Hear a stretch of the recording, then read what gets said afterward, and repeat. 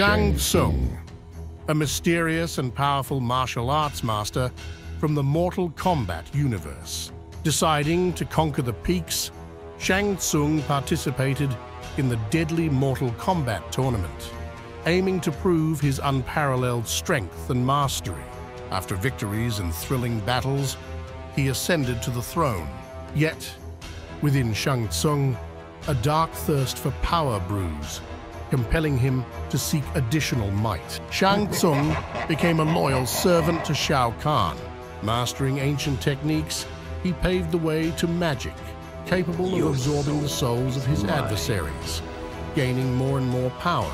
The great master, Shang Tsung, remains an eternal symbol of struggle in the Mortal Kombat world, where the forces of light and darkness collide in epic duels.